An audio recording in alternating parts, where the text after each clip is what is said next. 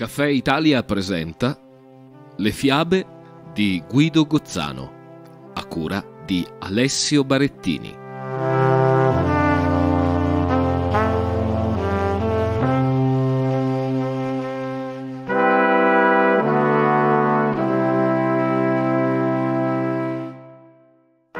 Le fiabe di Guido Gozzano.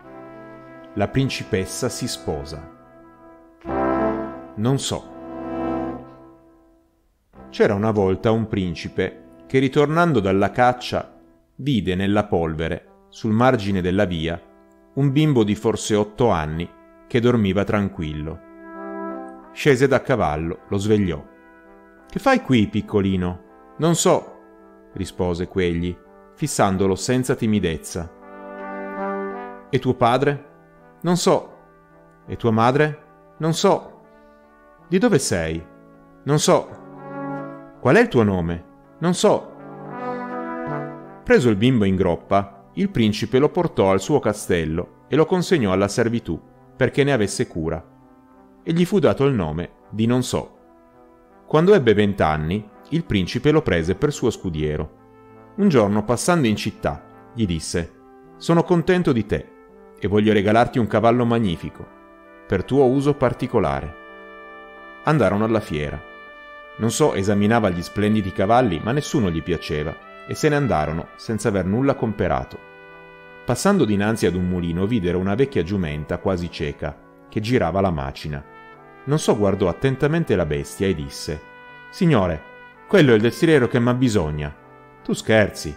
Signore, compratemelo e ne sarò felice.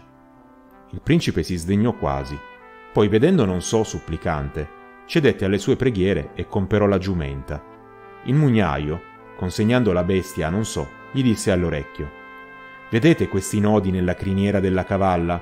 Ogni volta che ne sfarete uno, essa vi porterà sull'istante a 500 leghe lontano. Ritornarono a casa. Pochi giorni dopo il principe venne invitato dal re e non so fu ospite col suo signore nel palazzo reale. Una notte di plenilunio passeggiava nel parco e vide appesa ad un albero una collana di diamanti che scintillava alla luna. Prendiamola dunque, disse ad alta voce. Guardati bene o te ne pentirai, fece una voce ignota e vicina. Si guardò intorno. Chi aveva parlato era la sua cavalla. Esitò un poco, ma poi si lasciò vincere dal desiderio e prese la collana. Il re aveva affidato a non so la cura di alcuni suoi cavalli e di notte egli illuminava la sua scuderia con la collana sfavillante. Gli altri staffieri, gelosi di lui, cominciarono ad insinuare che nella scuderia di non so splendeva una luce sospetta, che egli si dava stregonerie misteriose. Il re volle spiarlo, e una notte, entrando di subito nella scuderia, vide che la luce veniva dalla collana abbagliante appesa ad una mangiatoia. Fece arrestare il giovane e convocò i saggi della capitale perché decifrassero una parola scritta sul fermaglio della collana. Uno studioso decrepito scoperse che il monile era della bella dalle chiome verdi, la principessa più sdegnosa del mondo. Bisogna che tu mi conduca, la principessa dalle chiome verdi, disse il sovrano, o non c'è che la morte per te. Non so, era disperato. Andò a rifugiarsi dalla vecchia giumenta e piangeva sulla sua magra criniera. Conosco la causa del tuo dolore, gli disse la bestia fedele. È venuto il giorno del pentimento per la collana presa contro mio consiglio.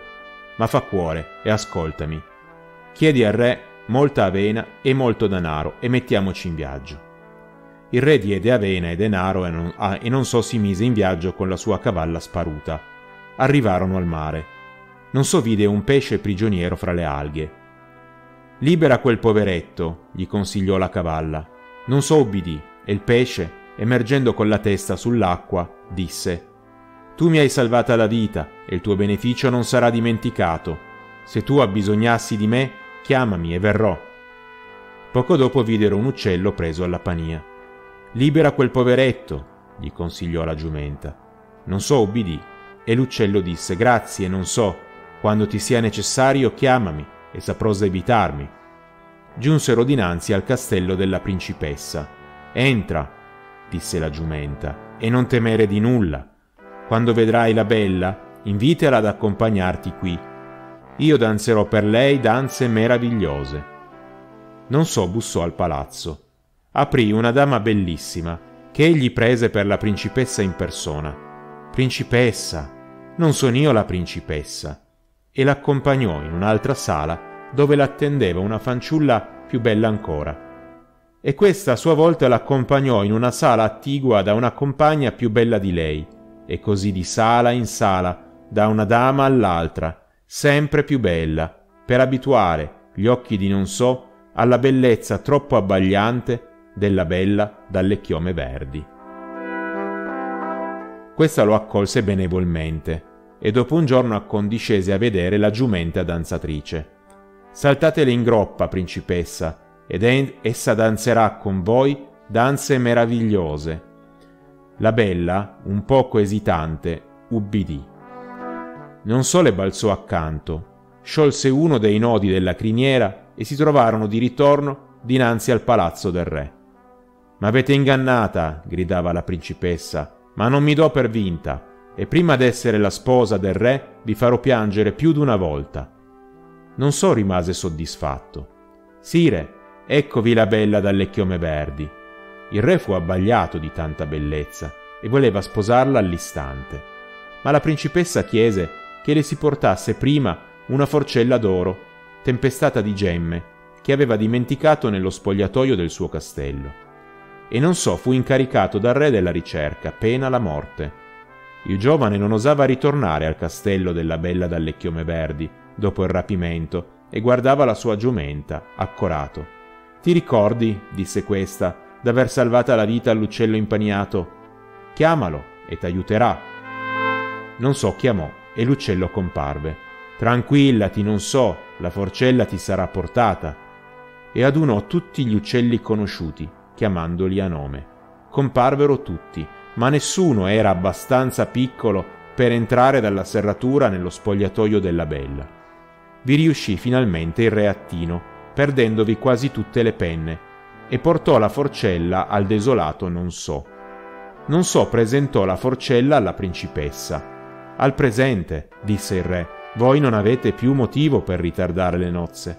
Sire, una cosa mi manca ancora, e senza di essa non vi sposerò mai. Parlate, principessa, e ciò che vorrete sarà fatto. Un anello mi manca, un anello che mi cadde in mare, venendo qui. Venne ingiunto a non so di ritrovare l'anello, e quegli si mise in viaggio con la giumenta fedele Giunto in riva al mare, chiamò il pesce e questo comparve. Ritroveremo l'anello, fatti cuore. E il pesce avvertì i compagni. La notizia si sparse in un attimo per tutto il mare, e l'anello venne ritrovato poco dopo, tra i rami d'un corallo. La principessa dovette acconsentire alle nozze. Il giorno stabilito s'avviarono alla cattedrale con gran pompa e cerimonia. Non so e la cavalla seguivano il corteo regale ed entrarono in chiesa con grave scandalo dei presenti. Ma quando la cerimonia fu terminata, la pelle della giumenta cadde in terra e lasciò vedere una principessa più bella della bella dalle chiome verdi. Essa prese non so per mano. Sono la figlia del re di Tartaria. Vieni con me nel regno di mio padre e sarò la tua sposa. Non so e la principessa presero congedo dagli astanti stupefatti, né più se n'ebbe novella.